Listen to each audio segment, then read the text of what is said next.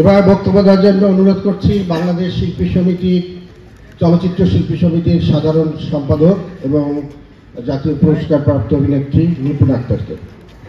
এখানে কারও নেওয়া লাগবে স্পেশাল? আসসালামু আলাইকুম সবাইকে।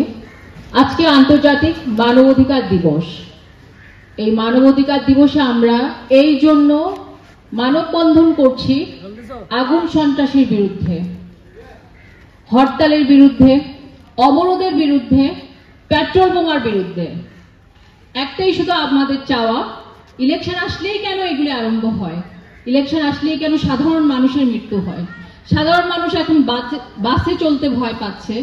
আমার যেখানে আমার একটা বিজনেস আছে, সেখানে সব স্টাফরা আসতে ভয় পাচ্ছে। এই পেট্রোল বোমাটা থামাতে হবে এবং মানবাধিকার দিবসকে আমরা একটাই জিনিস জান- জানতে চাই, আজকে শান্তি চাই। এবং শান্তিপূর্ণভাবে আমরা একটা ইলেকশন চাই। এবং এই পেট্রোল বোমাটা যতদিন বন্ধ না হবে আমরা শান্তিপূর্ণভাবে কিছুই করতে পারব না। ধন্যবাদ।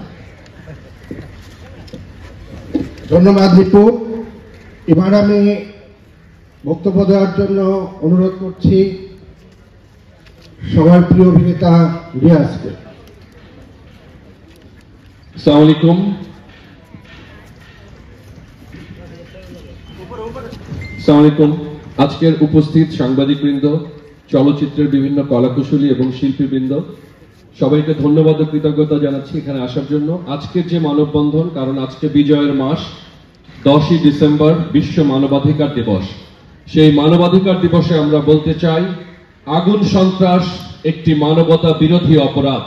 আমরা তীব্র ঘৃণা ও নিন্দা জানাই আগুন সন্ত্রাসীদেরকে এবং যারা আগুন সন্ত্রাসের মাধ্যমে আমাদের স্কুলের বাচ্চাদেরকে স্কুলে যাওয়া বন্ধ করছে, তাদেরকে বাধ্য হয়ে ছুটির দিনে স্কুলে যেতে হচ্ছে। সমস্ত স্কুলের শিডিউল, বাজারের সমস্ত জিনিসের দাম বেড়ে যাচ্ছে কারণ যানবাহন চলাচল করতে পারছে না। এই অধিকার আমাদের অধিকার, আমাদের নাগরিক অধিকার। এই অধিকার যারা খর্ব করছে, এই অধিকার যারা লঙ্ঘন করছে, তারা আমরা মনে করি মানবতা বিরোধী মানবতা বিরোধী অপরাধে অভিযুক্ত। সো তাদেরকে এখনই সময় রুখে দিতে হবে। এখনই যদি আমরা আগুন সন্ত্রাসকে রুখে দিতে না পারি, আমাদের দেশের জনগণ ভালো থাকবে না। আমরা আমাদের এই সুন্দর বাংলাদেশকে নিয়ে কোন রাজনৈতিক উদ্দেশ্যে মসনদের লোভে কাউকে নিয়ে ছিনিমিনি খেলতে দিতে পারি না। কারণ এই বাংলাদেশে আমাদের সন্তানরা সুন্দর একটি বাংলাদেশ চায়, উন্নয়নশীল বাংলাদেশ চায়। যে বাংলাদেশ এগিয়ে যাচ্ছে, স্মার্ট বাংলাদেশের পথে, তার এই অগ্রযাত্রাকে কেউ থামিয়ে দিতে চেষ্টা করলে আমরা মনে করি সেটা এক ধরনের সন্ত্রাস। এবং যেসব মানুষ বাসে পেট্রোল বোমায় মারা গেছেন, তাদের আত্মার মাগফেরাত কামনা করছি এবং আমি মনে করছি অচিরেই এই মানবাধিকারের বিরুদ্ধে এই সন্ত্রাস বন্ধ হোক। সবাইকে অনেক ধন্যবাদ।